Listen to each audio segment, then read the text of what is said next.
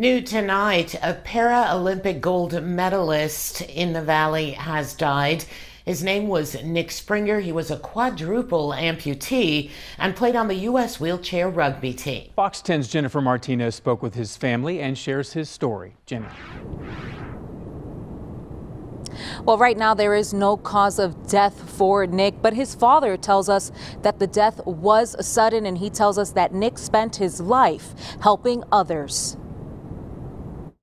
I really do um, believe that his legacy will, will, will live on. A remarkable young man, says the father of 35 year old Nicholas Springer, Paralympic medalist for Team USA, who died on April 14th for unknown causes. His father, Gary Springer, tells us he believes it had something to do with his disease, meningitis. We haven't heard yet a, a, a full cause of death, but, you know, his insides were pretty messed up from that disease because what the disease does it it, it attacks the blood and it attacks the organs and it co- helps coagulate and inside out.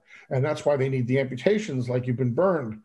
And it it really did affect his organs his including his heart and what it sounds like is that he might have had a heart attack, but we're not sure. In 1999, Nick's hands and feet were amputated, but that didn't stop him from becoming great, getting into wheelchair rugby and going on to win multiple gold medals, including at the 2008 Beijing Olympics. He never wore prosthetics. He just didn't like them. They they they they, they were uncomfortable. Um, they made him bleed, and and so he was you know he was fine. And it was quite amazing that nobody you know one wouldn't think that a guy, you know, with no hands and no feet and can do anything. He can drive a car. He can, he can use the little cell phone. We puts it in his hands, and he had the nubs of this stump, and he would, you know, be able to dial and, and um, uh, he was rather remarkable.